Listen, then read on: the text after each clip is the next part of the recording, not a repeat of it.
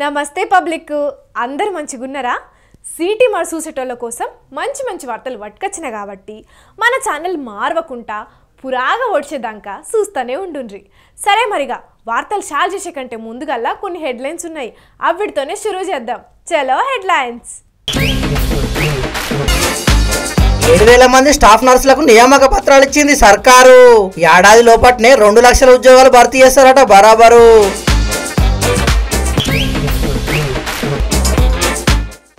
తెలంగాణలో సర్పంచులకు ఇస్తున్నారు వీడుకోలు.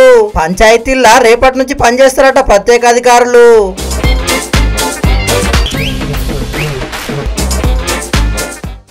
చిల్లర ఇవ్వనందుకు కండక్టర్ను దండింది ఒక లేడీ. పోలీసులకు ఫిర్యాదు పెడితే దొరకబట్టేస్తారట బేడీ.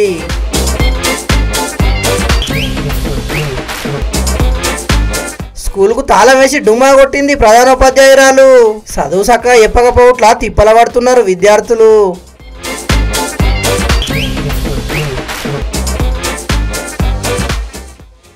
మీడియా మీద గర్వమైన కుమారి ఆంటీ.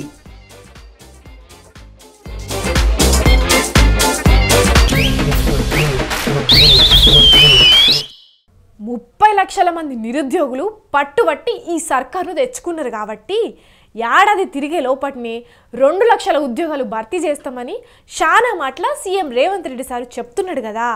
ఇక దానికి తగ్గట్టే పనులు సుతం సురువు చేసింది సర్కారు. ఇక ఇవాళ ఒక్కటే పారి దాదాపు ఏడు మంది స్టాఫ్ నర్సులకు ఉద్యోగ నియామక పత్రాలు ఇచ్చింది. మరి ఆ కార్యం ఎట్లా జరిగింది? ఏం కదా అరుచుకోవాలి కదా. చలో పాండ్రి మరి ఎల్బీ స్టేడియంకి.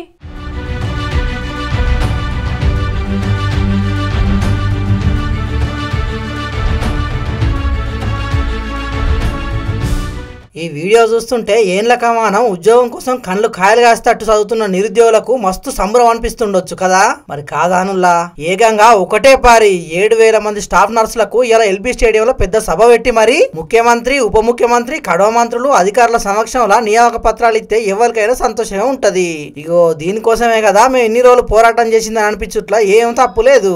ఈ కార్యానికి వచ్చిన సీఎం రేవంత్ రెడ్డి సారు నియామక పత్రాలు ఇచ్చినాక మాట్లాడుకుంటా స్టాఫ్ నర్సుల నియామకం చాలా రోజుల సంది పెండింగ్లో ఉన్నది. ఆరోగ్య తెలంగాణ నిర్మించుట్ల వీళ్ళదే కీలక పాత్ర కాబట్టి నియామకాలకున్న అడ్డంకులు తొలగించి పోస్టింగ్లు ఇస్తున్నామని చెప్పిండు. అట్లనే తొందరగానే పదిహేను వేల పోలీసులు కూడా భర్తీ చేస్తామని అన్నాడు.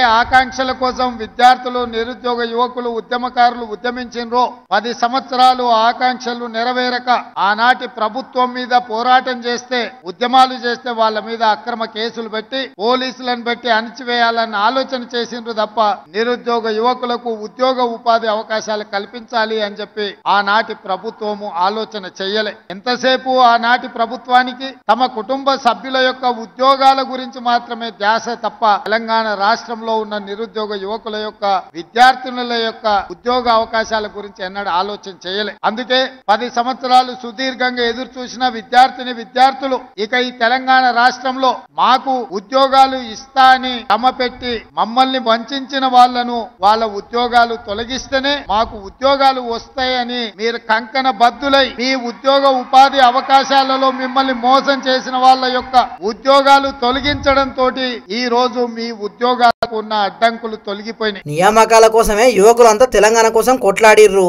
అయినా అప్పటి సర్కారు నిరుద్యోగులను పట్టించుకోలేదు. మీరెన్నుకున్న ఈ ప్రభుత్వం మాత్రం తప్పకుండా ఉద్యోగాలు ఇచ్చి తీరుతుంది. టీఎస్పీఎస్సీ ని ప్రక్షాళన చేసినాం. ఏడాదిలోపు రెండు లక్షల ఉద్యోగాలు భర్తీ చేస్తామని సీఎం రేవంత్ రెడ్డి సారు హామీ ఇచ్చిండు. ఈ మీటింగ్లో డిప్యూటీ సీఎం భట్టి సార్ మాట్లాడుకుంటా అందరి కళలు నిజం చేయటం కోసం ఇంత పెద్ద ఎత్తున ఒకటేసారి దాదాపు ఏడు వేల మంది స్టాఫ్ నర్సులకి ఒకటేసారి ఇంత పెద్ద ఎత్తున ఒక దగ్గర చేర్చి ఉద్యోగాలు ఇవ్వటం అనేది నిజంగా చాలా సంతోషకరమైనటువంటి రోజు. తెచ్చుకున్న రాష్ట్రానికి సార్థకమవుతున్నటువంటి రోజుగా నేను భావిస్తూ ఇంత మంచి కార్యక్రమాన్ని ఇచ్చిన మాటను నిలబెట్టుకుంటూ ఏర్పాటు చేసినటువంటి ముఖ్యమంత్రి గారిని కూడా నేను ప్రత్యేకంగా అభినందిస్తా ఉన్నాను. ఒకటే పారి గంత మందిని ఒక దగ్గర పిలిచి ఉద్యోగ నియామక పత్రాలు ఇచ్చుడు మంచిగానే ఉన్నది. కాకుంటే ఈ ఉద్యోగాలన్నీ పోయిన సర్కారు భర్తీ చేసినాయి. చిన్న చిన్న తక్లీఫ్లు ఉండుట సెలక్షన్ ప్రాసెస్ జర ఆలస్యం అయింది కాబట్టి ఈ ఉద్యోగాలతో నట్టుగా మీరు భర్తీ చేస్తారన్న రెండు లక్షల ఉద్యోగాలను కూడా ఆలస్యం చేయకుండా భర్తీ చేసి నిరుద్యోగులకు న్యాయం చేయరు సారు. మీకు పుణ్యం ఉంటది అంటున్నారు సర్కారు కొలువు కోసం. ఏం లెక్క మనం కురిసిలకే అతుక్కొని చదువుతున్న కొందరు ఉద్యోగార్థులు.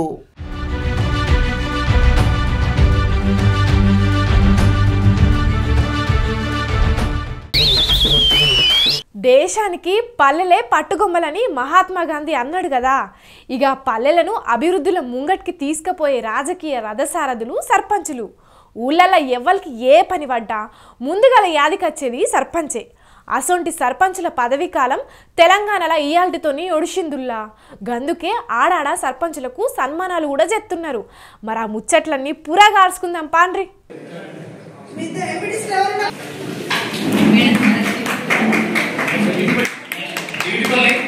గౌరవ సర్పంచ్ గారిని ఎంపీసీ గారిని మరియు ఐదేండ్లు విజయవంతంగా గ్రామ ప్రథమ పౌరులుగా బాధ్యతలు చేపట్టినటువంటి సర్పంచులకు ఇప్పుడు తెలంగాణ అంతటా సన్మాన కార్యక్రమాలు ఏర్పాటు చేస్తున్నారు. అట్లా ఇవాళ వరంగల్ జిల్లా వర్ధనపేట మండలం జిల్లా పరిషత్ ఆఫీసుల సర్పంచులకు ఆత్మీయ వీడ్కోలు సమావేశం ఏర్పాటు చేసిండ్రు. ఈ ఈ మీటింగ్ల ఈ ఐదేళ్ళలో ఎవలేం పనులు చేసిండ్రు. అధికారులు సర్పంచులకు ఎట్లా సహకరించిండ్రు? ఊళ్ళల్లో ఇంకా ఏమేం పనులు చేసేటిది ఉన్నదనే దాని గురించి సర్పంచులు అధికారులు మాట్లాడుకున్నారు. మరి ఐదేళ్ళ కాలంలో ఏం చేసినాం ఏం కథ అనేది ఈ సర్పంచ్ అమ్మ చెప్పింది ఇనుండ్రి. మా వార్డు మెంబర్ల సహకారంతో కానీ ఎంపీటీసీపీ సహకారంతో కానీ మేము చాలా అభివృద్ధి పనులు చేసినాం. దాతల సహకారంతోనే మేము చాలా మా గ్రామాన్ని హండ్రెడ్ పర్సెంట్ చేసినామండి. మా గ్రామంలో ఇప్పుడు ఏమి లేవు చేస్తే కొన్ని చిన్న చిన్న పనులే ఉన్నాయి. పెద్ద పనులు ఏమీ లేవు. అందుకని మేము మా పాలనలో మీరు అందరూ భాగస్వాములై మమ్మల్ని సక్సెస్ఫుల్ చేసినందుకు మీ అందరికీ ధన్యవాదాలు. తెలుపుకుంటూ ఇన్నరా అన్ని తీర్ల పనులు మొత్తం చేసిండ్రట. గందుకే మన తెలంగాణలో ఉన్న చాలా గ్రామాలకు కేంద్రం నుంచి అవార్డులు కూడా వస్తున్నాయి. గ్రామ పంచాయతీలకు ఇప్పట్లో ఎన్నికలు పెట్టే ఆలోచన లేదు కాబట్టి రేపటి నుంచి ప్రత్యేక అధికారుల చేతికి గ్రామ పంచాయతీల పాలన పోతుందన్నట్టు. దీనికి సంబంధించి సర్కారు ఇప్పటికే నిర్ణయం కూడా తీసుకున్నది. గ్రామ పంచాయతీలకు సంబంధించిన రికార్డులన్నింటినీ సర్పంచుల దగ్గరికి తీసుకుపోవాలని చెప్పి పంచాయతీ కార్యదర్శులకు కూడా సర్కారు ఆర్డర్ వేసింది. రికార్డులు ఇయ్యని సర్పంచులంటే వాళ్ళ మీద చర్యలు కూడా తీసుకుంటామని చెప్పి అధికారులు చెప్తున్నారు. మొత్తానికైతే కొందరు మల్లోపారి సర్పంచ్ పోటీ చేసి ఊరిని ఇంకింత అభివృద్ధి చేయాలని చూస్తుంటే ఇంకొందరు సర్పంచులు మాత్రం ఊరు కోసానికి ఇప్పటికే సంత పైసలను చూద్దాం శాన్నే ఖర్చు పెట్టుకున్నాం. ఆ సంతృప్తి చాలు. ఇంకా ఖర్చు పెట్టి అప్పులపాలు కాలేమని అంటున్నారు. మాజీ సర్పంచ్ అనే పేరు జీవితకాలం ఉంటది. అది చాలని అంటున్నారు. చూడాలి మరి సర్పంచులు లేకుండా గ్రామ పంచాయతీలు ఎట్లా ముంగడిగిపోతాయో గ్రామ పంచాయతీలకు ఎన్నికలు ఎప్పుడు జరుగుతాయో.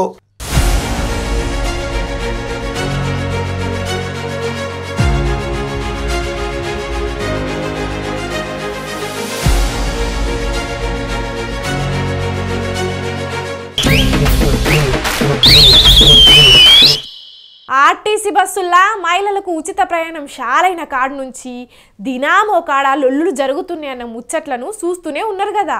ఇప్పుడు కూడా ఓ కాడ లొల్లయ్యిందుల్లా కాకుంటే ఇదివరకు అయిన వాటికంటే వేరే లెవెల్లో అయింది వార్త జర్ర ఆలస్యంగా బయటకు వచ్చినా ఆ మహిళ చేసిన రచ్చ మాత్రం మామూలుగా లేదు.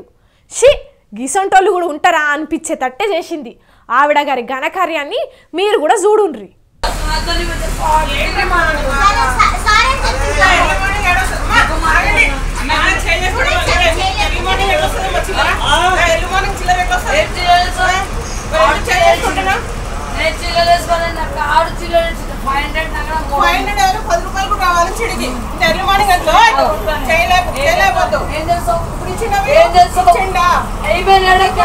చూస్తున్న నుల్లా ఈమె భాగవతం ఎట్లున్నదో? పాపం కండక్టర్ అన్న మర్యాదగానే మాట్లాడుతున్నాడు గాని ఆ మహాతల్లికి మత్తింకా దిగనట్టున్నది. ఏం మాట్లాడుతున్నదో కూడా తెలుస్తలేదు. ఇక ఆమె మాట్లాడిన మాటలు తిట్లు వేయాలంటే మొత్తం బీప్స్ అప్పుడు తప్ప ఇంకా వేరే ఏం వినబడది కావచ్చు. ఆ తీరుగా రెచ్చిపోయింది. మరి ఈమె కడుపుకు అన్నమే తిన్నదో లేకుంటే అశుద్ధం గిట్ల తిన్నదో తెలియదు కానీ పాపం కండక్టర్ అన్నను చెప్పరని మాటలు అన్నది బస్సులో ఉన్నోళ్ళు ఓ దిక్కు సముదాయిస్తున్నా కూడా నోటికొచ్చిన బూతులు తిట్టుకుంటా కాల్తో దన్నింది ఈ ముచ్చట మీద కండక్టర్ అన్న ఏం చెప్తున్నాడో ఇనుండ్రి. ఎల్బీ నగర్లో ఎక్కాది. Ladies passenger. ఎక్కి ఐదు వందల రూపాయలు ఐదు వందల రూపాయలు ఇచ్చాది. చిల్లర లేదమ్మా అని అన్నాను. అన్నాక నా- ఈ చిల్లర కానీ చిల్లర దాన్ని కాదు నేను నేను చిల్లర ఇవ్వాల్సిన అవసరం లేదన్నది. అన్న అన్నాక నేనేం చేసిన ఐదు వందల రూపాయలు వా- వాపస్ చేసేసి నా సొంత పైసలతో నేను పదిహేను రూపాయల టికెట్ ఆమెకి ఇచ్చాను. ఇచ్చినాక కూడా నన్ను విపరీతంగా మాటలు మాట్లాడి చాలా బాధ పెట్టింది. అదన్నట్టు ముచ్చట. అయినా వాళ్ళ రూల్ ప్రకారం వాళ్ళు డ్యూటీ చేయాలే కదా. పాపం ఆ అన్న ఏమనకున్నా కూడా ఇష్టం వచ్చినట్టు తిట్టిందట. గంత ఘోరంగా ఎందుకు తిట్టిందే అన్న అంటే? ఆమె దగ్గర ఆధార్ కార్డు లేదు ఐడి ప్రూఫ్ ఏం లేదు. మద్యం సేవించింది చాలా డ్రగ్స్ కూడా తీసుకొని ఉన్నట్టుంది పరిస్థితి మాత్రం విన్నారా? తెల్లారంగానే మత్తులో ఉన్నదంటే ఏ పాటో రాత్రి దాగిందే ఇంకా దిగనట్టున్నది. మరి గిన్ని రోజుల సంధి అధికారులకు ఎందుకు చెప్పలేదే అని అడిగితే ఇలాంటి నేను సేమైనా సార్ అది సేమైనా నేను అసలు చెప్పుకోలేకపోయినాను పరిస్థితి. అయ్యో పాపం ఆ అన్న మంచి ఇల్వగల్లోడు ఉన్నట్టున్నది. తాగుబోతుతోని మాటలు పడ్డదే గాక మళ్ళా ముచ్చట ఇంకొకరితో చెప్పుకునుడు నా వరద అనుకున్నట్టున్నాడు. గందుకే ఎవరికి ఫిర్యాదు కూడా పెట్టలే. కాకుంటే ఆ వీడియో బయటకు వచ్చే వరకు ఇప్పుడు ముచ్చటేందనేది తెలిసింది. ఇక ఈ వార్త తెలియంగానే ఆర్టీసీ అధికారులు ఆ మహిళ మీద ఎల్బీ నగర్ పోలీస్ స్టేషన్లో ఫిర్యాదు పెట్టిర్రు. ఎంబట్నే కేసు రాసుకున్న పోలీసులు రెండు సెక్షన్ల కింద కేసులు పెట్టి విచారణ చేస్తున్నారు.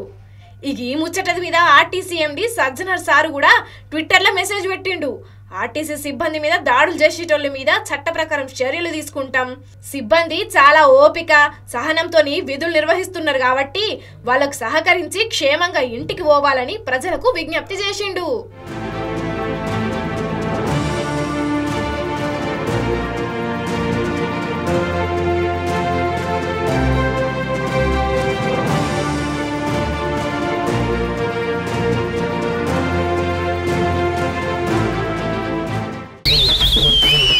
మన ఊరు మనబడి పథకంతోని తెలంగాణలో ఉన్న సర్కార్ బల్ల హాలత్ మొత్తం మారుస్తాం.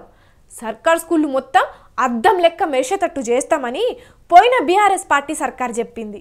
ఇక ఇప్పుడు అధికారం చేతబట్టిన షెయి పార్టీ ప్రభుత్వమేమో మెగా డిఎస్సి వేస్తాం. అన్ని గవర్నమెంట్ స్కూళ్ళల్లో టీచర్ పోస్టులు ఖాళీ లేకుండా చేస్తామని చెప్తున్నది.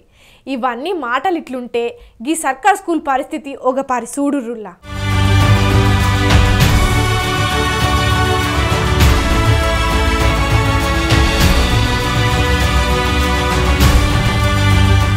ఇగో ఈడ ఖాళీగా దర్శనమిస్తున్న కుర్సీ ఈ స్కూలు పెద్ద మేడంది. ఆ పెద్ద మేడము మూడు రోజులు సెలవు పెట్టిందట. సరే ఆపతి ఉంటే ఎవరైనా సెలవు తీసుకుంటారు. కాకుంటే ఆమె మాత్రం రిజిస్టర్లు స్కూల్కు సంబంధించిన అన్ని వేరే అర్రల పెట్టి తాళం వేసుకొని పోయింది. కాబట్టే ఇప్పుడు వార్త అయ్యింది. నిర్మల్ జిల్లా భైంసా మండలం మాంజ్రీ సర్కార్ స్కూల్లో ముచ్చటిది.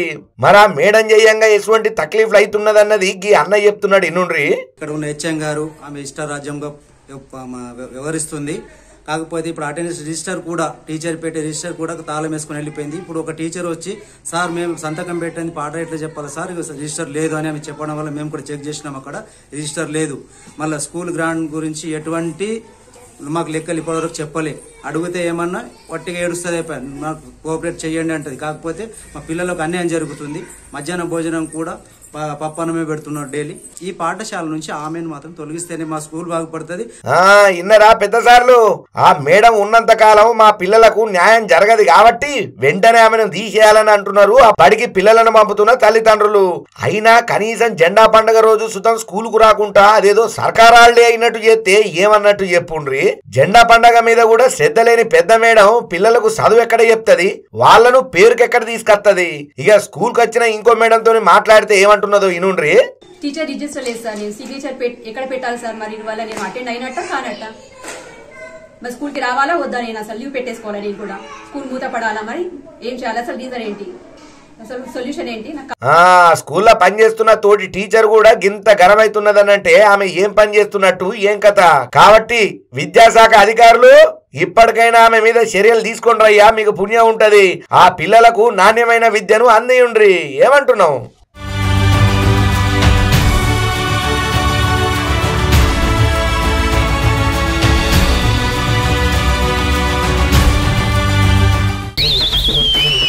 ఆ కుర్సీని మడత పెట్టి మడత పెట్టి మడత పెట్టి టూ అన్న తాత ఎంత ఫేమస్ అయిండో నాకు తెలియదు కానీ ఇప్పుడు నేను వార్తల్లో చూపించబోయే తాత అయితే మస్తు ఫేమస్ అయిండు ఇంతకు ఆ తాత ఎవరు?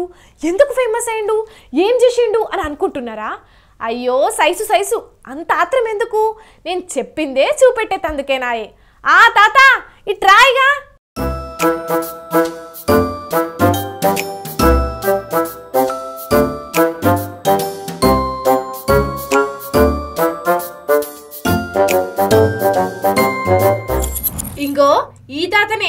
సోషల్ మీడియాలో మస్తు ఫేమస్ అయిండు. ఇంతకీనే ఏం చేసిండ్రు అంటారా? కనబడతలేదా తాత బైకు? దాంతోనే మస్తు మంది తారీఫ్లు అందుకున్నాడు. అగో సైకిల్నే బండి లెక్కన చేసిండు కదా అంటే అదే మరి మ్యాటర్ ఇక్కడ. వాస్తవానికైతే ఇది సైకిలే. తొక్కుకుంటూనే పోవాలి. కానీ దాన్ని బైక్ లెక్కన ముందు డ్యూమ్ పెట్టిండు. లైట్ కూడా పెట్టిండు. మంచిగా బైక్ లైట్ కదా ఎలిగినట్టే ఎలుగుతుంది.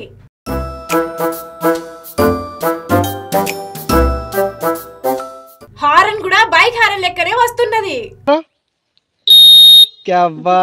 సీటు కూడా బైక్ సీటే పెట్టిండు. వెనక నెంబర్ ప్లేట్ కూడా పెట్టిండు. ఇక తొక్కుకుంటా పోతున్నాడు. చూస్తుంటే బండి మీదనే పోతున్నట్టున్నది. దూరం నుంచి చూసినోళ్ళు బండే అనుకుంటారు. కాకపోతే సైకిల్. తాత ఐడియా అదుర్సు కదా. ఇదంతా ఇంగో ఈ సంచిలున్న బ్యాటరీతోనే. మరిది తాతే తయారు చేసిండో లేదంటే వాళ్ళ మనవడు గిట్ల తయారు చేసిస్తే నడుపుతుండో కానీ సోషల్ మీడియాలో మాత్రం మస్తు వైరల్ అవుతున్నాడు ఇక ఈ వీడియోను చూసిన నెటిజన్లు తాత ఐడియా అదుర్స్ అనుకుంటా తారీఫ్ చేస్తున్నారు. దీన్ని బట్టే కుర్చీ మడత పెట్టే తాతలే కాదు ఇట్లా టాలెంట్ ఉన్న తాతలు కూడా ఫేమస్ అవుతారనేది అర్థం చేసుకోవాలి.